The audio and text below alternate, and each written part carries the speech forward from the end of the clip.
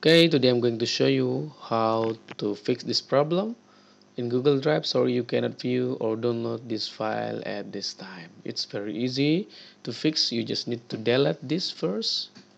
Okay, delete this from this uh, and export download. Okay, delete it. Okay, now change this UC. Hmm, change this UC to open open. And then hit enter. Okay. Now you will see. Uh, wait. Let's wait because I still download the file. Okay. Uh, you can see this now. Now let's click add to my drive here. Click this. Add to my drive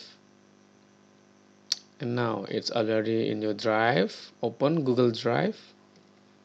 Google Drive. Where is it? My drive. Uh, let's open it. Okay. Or you can manually write here drive.google.com now the file is here.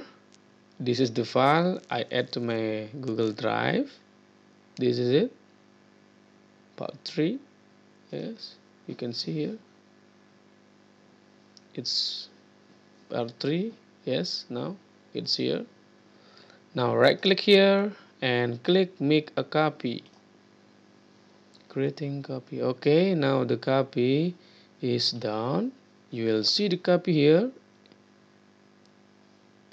Here is it? This is the file. Let's double click here. You can see this is the copy of part 3 yes mcd5 ea part 3 this is it. This is the copy now you can download it. Okay. Download anyway. Now it will start download automatically. Wow it's very easy to use. If you have any question just write your question in the comment section. And if you have a problem with copy uh, with make a copy. If you have any problem I have the video. I have uh, I already make a tutorial about that. You can watch it in my channel too. Okay thanks for watching and happy downloading. Don't forget to click like and subscribe for more video. Thanks